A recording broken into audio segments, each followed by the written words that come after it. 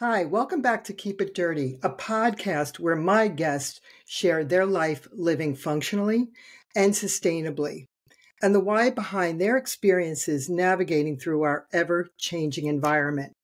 I am your host, Leslie Dowling. I am a corporate speaker sharing how one can jumpstart your health through increased revenue and productivity through different restorative health techniques. It is a pleasure to welcome my guest, Ali Pakradooni. Ali is an entrepreneur, philanthropist, and owner of Be Mine Boutique. So it's great to have you, Ali. Um, I'd love to hear a little bit about your passions and your drive behind all that you do and how you keep in check and in balance with just your health uh, mentally and emotionally and just physically, trying to package everything as you go through your life. Well, first, I want to say thank you so much for having me on your podcast. Um, I'm really excited. Um, big question. You know, I always like to say uh, life is about learning, and I don't believe that I'll ever have it all figured out. Um, I am 27 years old now. Um, and I feel that I've already learned a lot and I hope to continue to evolve um, with my business. A lot of my passion started from um, I was born on Valentine's Day and I always loved small acts of love. I always loved uh, giving back through my time, talent, treasure, or ties. Um, I'm a firm believer that you don't always have to be donating monetarily. Uh, you can donate your time to people, and there's just so many different ways through your spoken word. And I think that starting my business, I knew that I wanted to obviously open up a boutique and get connected back with my hometown. Uh, this is a town that gave so much to me. And I was living in Philly and going to college, and I loved the city. But when I was ready to move and wasn't sure what career path I was going to take yet, I knew that I wanted to come back here and kind of get back to my roots. And then as soon as I decided to open my boutique, it became a big instilling message in my business to connect it back to my community and through my philanthropy work. I have done many different programs through my family philanthropies, but I really wanted to get more um, my hands in the dirt and get more involved within the community, especially if I was going to be a business owner in the community. And with balance, I mean, every day is different. I definitely am a person who struggles with mental health, and it's an ongoing battle. I mean, every day is different for everyone, especially in the ever changing world. We're all dealing with uh, comparisons because of a social media standard that's been created over the past few decades and, you know, everybody continues to compare their lives. And I think that taking a step back and looking at our own lives and our own involvement is definitely something that helps me feel good is to connect with others. Uh, obviously, physical health is something that has always helped uh, my mental stay balanced. I try to stay moving and stay involved, whether it just be a walk or a workout class. I try not to hold too high of a standard to myself of what that movement may be. Um, being a young woman, that has always been something that I think most women can relate to is holding ourselves to an extremely high standard to be in the best shape mentally, physically, uh, career driven, um, have a family, and just continuing all these expectations on ourselves. So, my new saying that I've held myself to as of this last year is to give ourselves grace, um, give ourselves more time, more patience. And I think that that has been something that has been helping me. But of course, I mean, we all have our our low days and our moments of being hard on ourselves. Uh, last week, I did celebrate four years of owning my business, and I was having a bad week. And that was just something that I was struggling to keep the balance of you know, recognizing this hard work, but also giving myself the grace and the space to um, feel those feelings and not make myself feel bad for them. Yeah, I, I love the fact that you give yourself space and that you set realistic goals because you seem to have tapped in and really know the way that Your body reacts to things the way that you are in situations. You're a strong, resilient woman on the outside, but we all are human and we all have our things that we have to just kind of take time to love ourselves because if we can't love and, and ourselves how are we going to embrace and give that energy back to other people um, so it seems exactly. like you're just so far beyond your years um, but but for young entrepreneurs or somebody that really wants to take the reins and possibly start a business what what kind of advice can you give to people so, I actually just had a couple of these discussions. Last week, I got the opportunity to speak at Career Day at a local high school, and I found that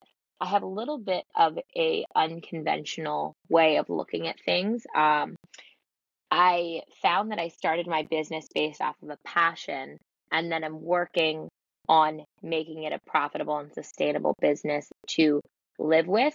But a lot of times people are going after what is going to make me the most money, which in turn can give you a sustainable and lovely life. But for a lot of people um, that get burnt out easily or need that passion drive, like myself and many other individuals, um, I ask people to look internally a lot. I had students write down so simply five things that made themselves happy.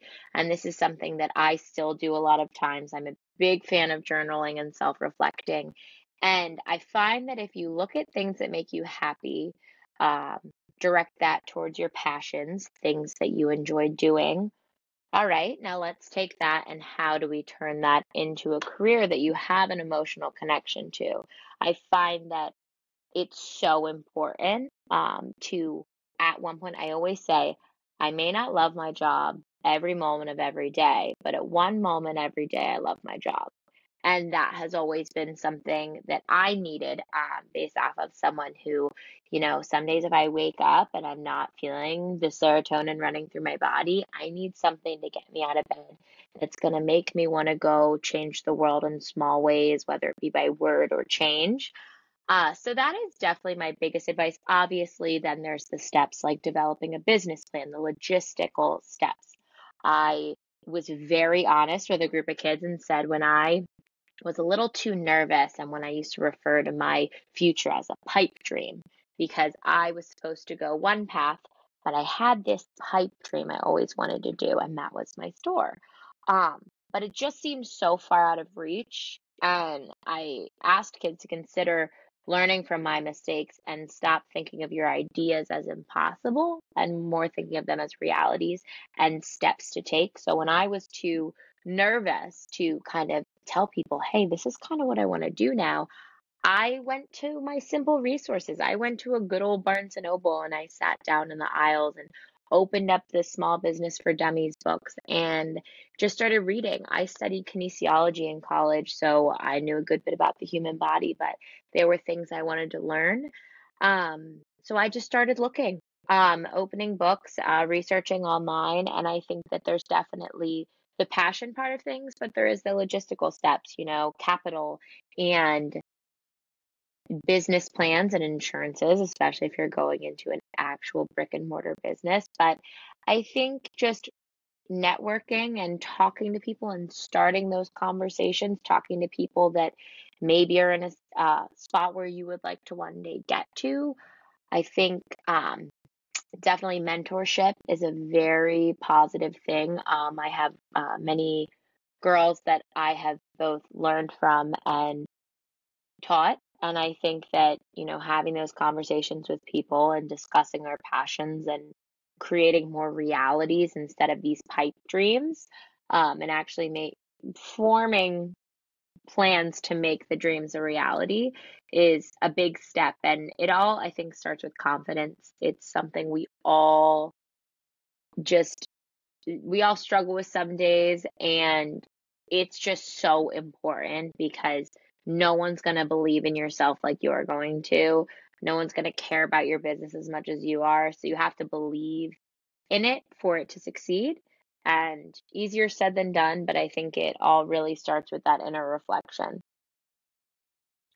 Yeah, and you're so involved with so many other programs, outreach programs, and, and just so instrumental in being active in the community, which I feel is so important. You know, my thing is supporting local businesses. And because I was in the retail business too with my family, and I know how it is. And it's just nice when you have that sense of community.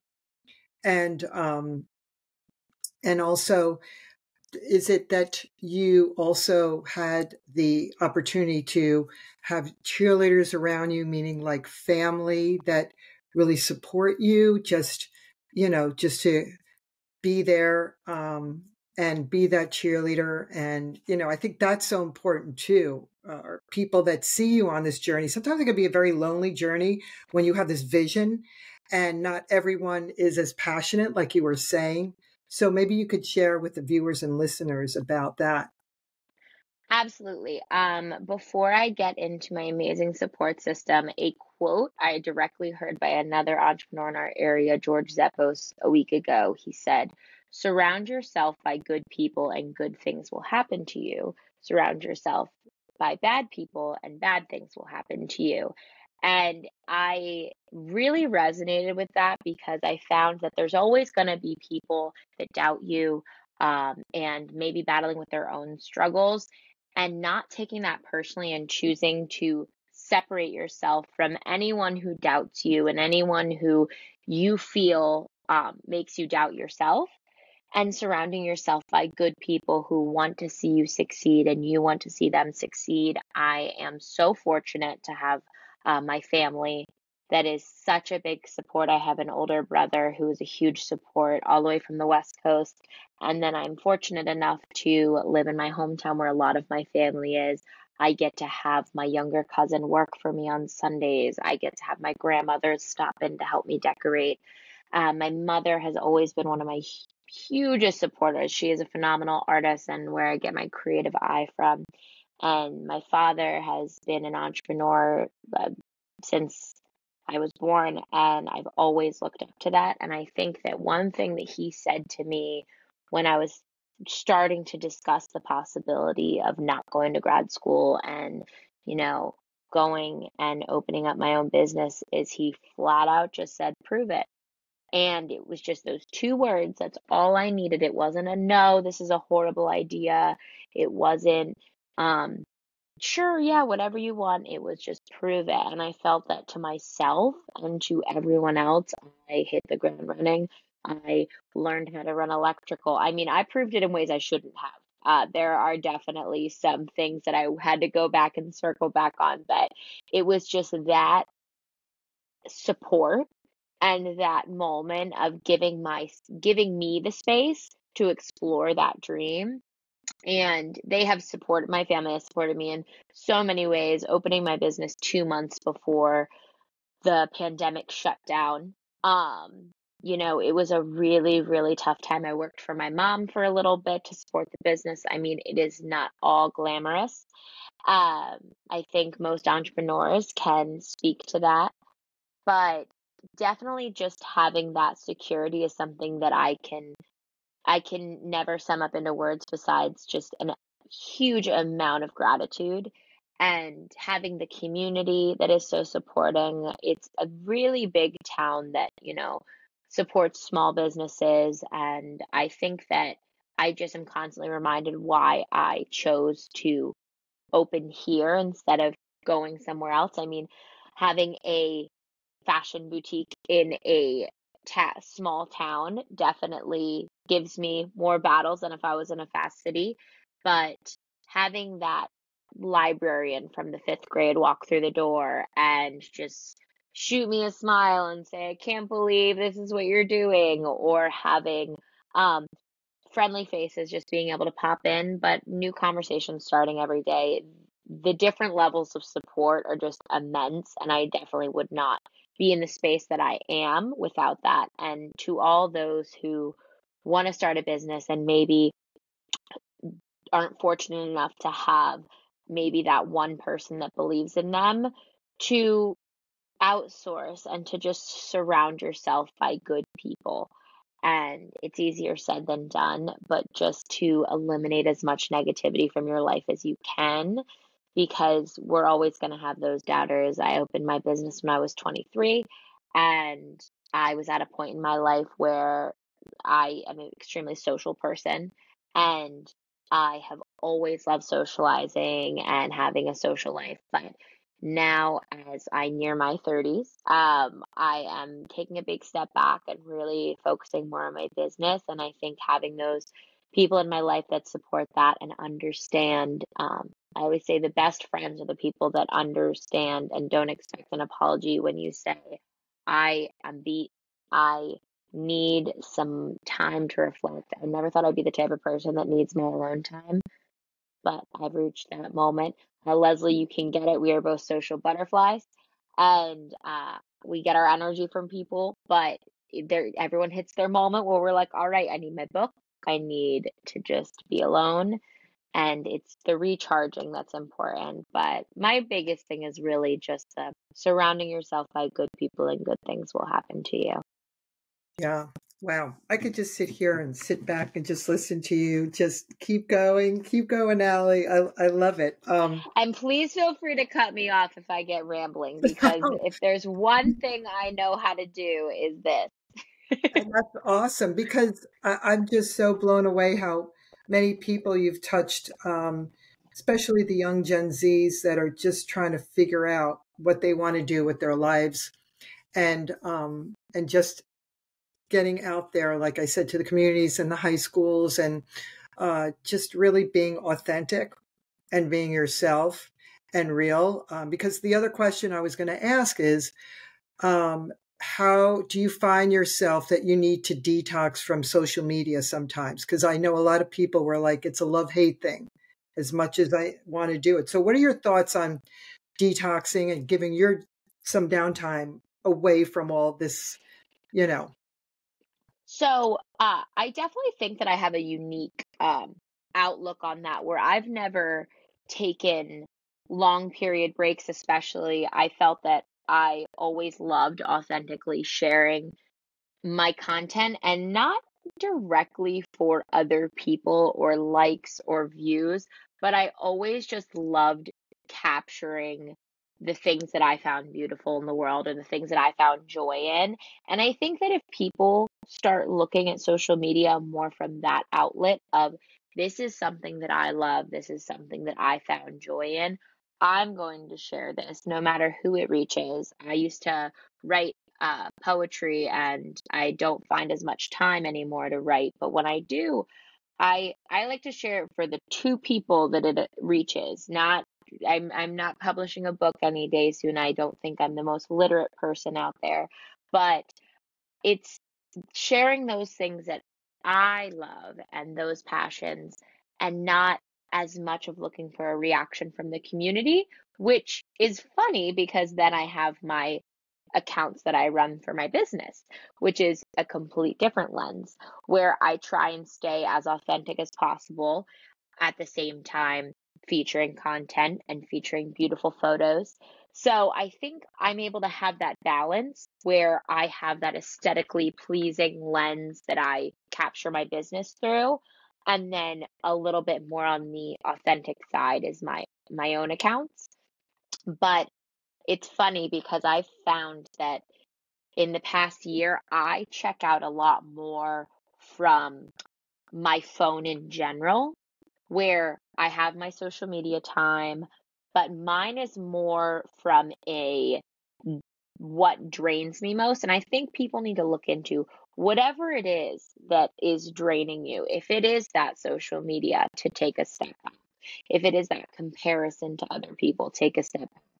For me personally, it is I've always kind of had this expectation for myself to constantly be there ready to answer people more of through a text or call situation. And my my friends deal with it constantly where when i hit it i hit do not disturb. I will go on do not disturb for a day if i need it if that's what my body needs and that's what my anxiety needs and my mindset for me to just check out i will turn it off. And you know if you really need me shoot me an sos but those are the moments when i'm finding that that's what's draining me most. So I think for anybody to just self reflect and decide what outlet it is that is taking that from you. I know when I was in college, emails and any notifications used to be anxiety inducing for me. Obviously, then going into a business, that is something you need to overcome because you have to answer email. But I think that we all hit different points in our lives, and I definitely feel for the younger generations that grew up on social media and grew up with their life being in a lens and expecting everything to be well liked. I know I was fortunate enough to have a nice long awkward phase. Uh, so I got to really just embrace loving myself for whatever stage I was in in life. And it's definitely something that we constantly go in waves of.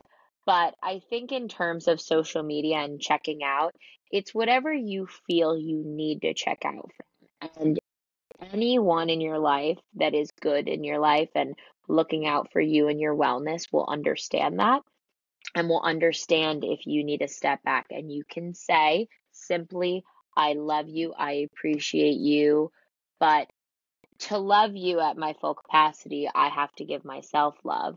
Um, you can only give as much as you have. And we've all been there where I have burnout more times than I can imagine of give, give, give, give, give.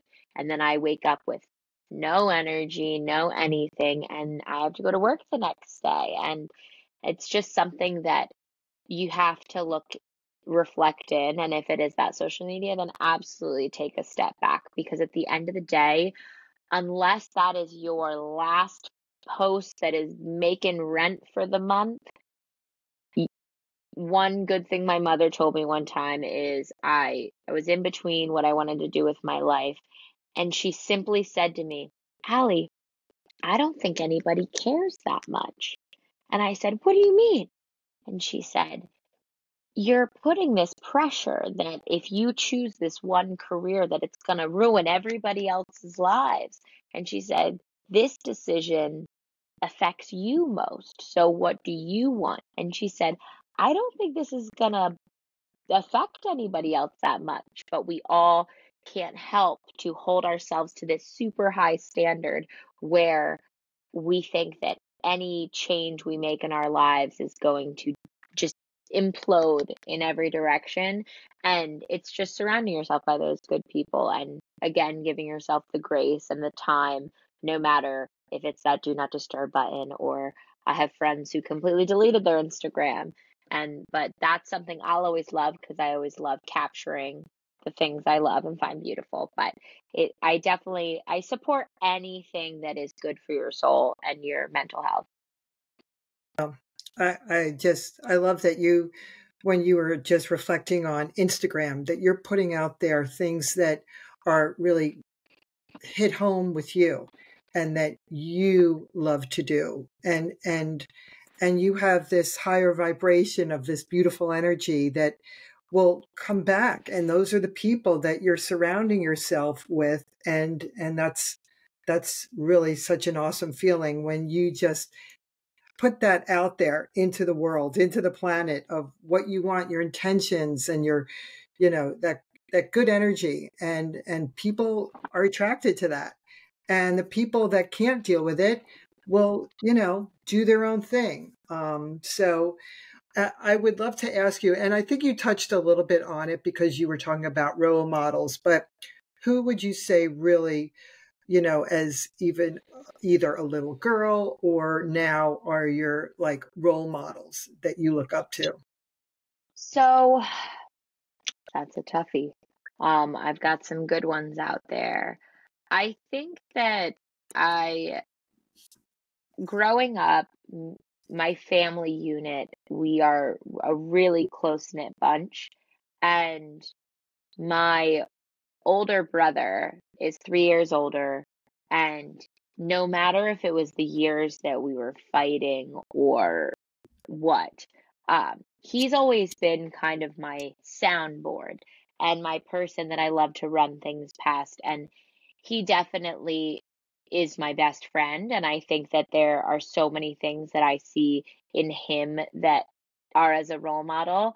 Um, and then really just simply my parents. I think that they are now married for 30 plus years. Uh, they got married young, they had kids young, and whether it be from a family perspective or a business perspective or the things they've created, they've they've set the the tone. You know, um, I am a single person, and I always say that you know, um, I don't look for someone. I I definitely hope to find someone one day that matches me perfectly and not trying to fit into a puzzle piece that doesn't fit. I just think that they they made the template. You know, I got to see two people who were so different, but you know, aside from differences, created this amazing family and so many things to look up to. Um, my father uh, I'm so proud of the businesses he's created and you know he's always just a good person and he's funny and my mother is so rawly talented and has built an amazing career for herself.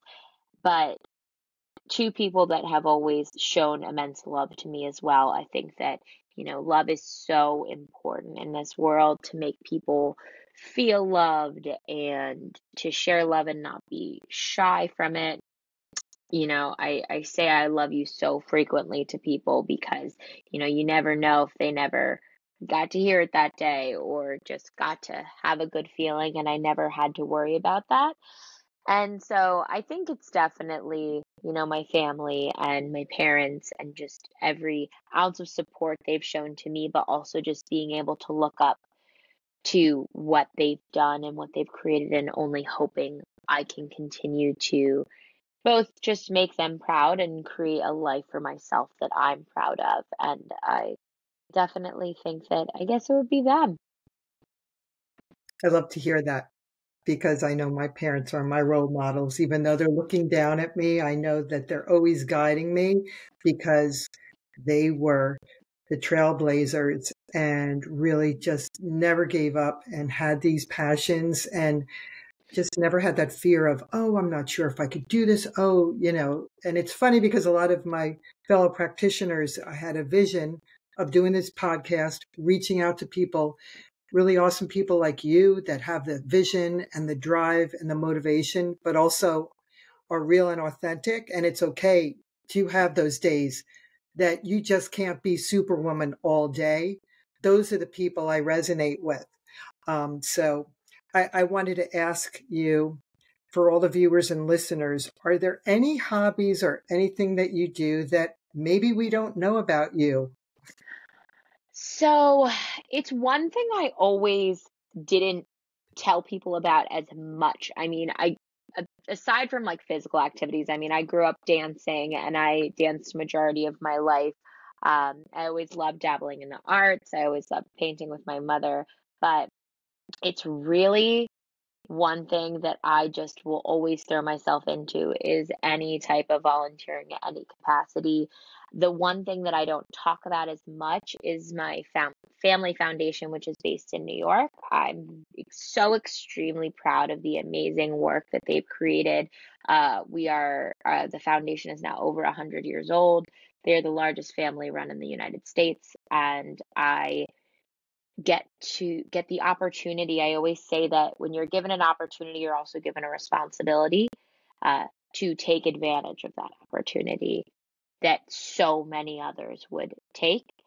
And I get to learn a lot about grant making and social justice and the ever worlding change around us. And I'm in a couple board uh, training programs to hopefully sit on one of the boards in the future. But I am in a point of education where I just want to keep learning as much as I can from as many people and connecting with as many people as possible. It's definitely not something I discuss a lot with people because uh, Family Foundation sounds very monopoly, a bunch of old guys sitting with top hats and writing checks. Um, but it's really groundbreaking work that the organization is doing. And they've actually switched from there's a new style of philanthropy called trust based philanthropy that our foundation just switched into, which means in the olden days or up until five years ago, we would have if people don't know what a request for proposal is, it's someone sends in a big, thick document that they spend hours and hours and hours of their time on, time that they could possibly be continuing work in their foundation. And it states what the money's going to, all the details of the organization's statistics, and we review that and then decide if funding is going to be gifted. But now we've switched to a lens called trust based, where it flips the power balance a little bit because there's always going to be a power imbalance when there's someone with the money and someone without the money. And now we look at the organizations, we see the work that they do, and we give them the money with no questions asked of we say you're the ones working in this industry. You're the ones with the background doing amazing work. Take the money and do what you need to do with it and we will check back in see how things are going see what you need from us. But it's slowly and very slowly because the amount of things that are just systemically placed into our um, entire existence is constant struggle with power imbalance between society and different groups and I think that that's just something to be really proud of. So I've now started talking to people more about it and being more prideful of it and opening the conversation. So I think that that's just one thing that people might not know about me and my involvement in it. Um, there are very few situations of volunteering I say no to. Um, I'm trying to get better at the two letter word NO, but I just get so excited and I believe that we are all put on this earth for a reason. And I think that mine has always been to extend a hand where a hand is needed. And so trying not to burn out in the process and find that time to give ourselves grace. But that's definitely one of my extracurriculars that I'm extremely proud to be a part of. I love that you shared that with us because um, I, I feel that the Gen Zs are so instrumental in just having that knowledge base of having access to everything. And and hopefully is it a goal to be able to be the catalyst to start changing some of those bylaws to be more up to date with what's going on with our world? And just it sounds like they're really being proactive but um, I could just see you being a mover and shaker and and doing great things uh, for your um, organization and for people to uh, be able to really benefit. Um, so I, I, definitely want you back on in the near future. I want to hear all that you're doing. I'm sure everybody else would love to see what you're doing, how your work is going, with Be Mine and all that you are doing for our community. So, are there any special projects or anything that you're doing with your uh, your store that you'd like to share with everyone? And how can they contact you? So I guess I'll start off with the short one, and that is best way to contact us. We are on all major social media outlets. We can also uh, you can Google us and call the store phone. Uh, we post all of our up to date events and inventory and all that good stuff on Instagram and Facebook at the the letter the number three Mine Boutique. Um, the Be Mine Boutique was taken back in the day when I went to start. Um, nuts. But uh, then I uh, event wise, we have a lot coming up for the holiday season. I'm a big, big fan outside of my own business in supporting small. And notoriously, the day after Black Friday is Small Business Saturday. So, going out in your communities, our community will be having lots of events going on that day. It's Saturday, the 26th, I believe. I could be wrong. And it's going to be a big day of, you know, getting out in the community and seeing what has been happening and how we can support those other businesses. We will be having sales at Be Mine. Then throughout the month of December, we'll be open late. Uh, we do cookies and cocoa every Friday. And we will be having special shopping opportunities, a men's shopping night where we will have some custom gift guides to shop for the ladies in your life. Uh, we will have special gift giving Saturdays and then leading into the new year, for those who um, don't get to see us over the holidays, we will be kicking off our largest drive of the year. I usually do two drives every year. Um, and in February, we do a Help a Girl Out drive. Uh, it's a give love, get love. We ask for donations of feminine products and diapers, and we were able to collect, I believe, over 10,000 units last year and work together with a couple different companies now and different businesses that do collections as well. So, again, just new ways to get out in the community. And we usually give a discount for those who donate. So, it's a little bit of give love, get love, and ways for people to get involved. So, please feel free to reach out with any questions. Wow. I love that you are doing so many great things and giving back to the community. And uh, yeah, it is a great time around the holidays to shop. So thanks, you thanks again, Ali. I really appreciate you being on my show. And um, yeah, and and for everyone, all you the viewers and listeners, please show some love by um, hitting you know the subscribe to listen and to rate and review. Keep it dirty. And also, just remember get out there, ground with Mother Earth, and um, keep it dirty. Take care, everybody.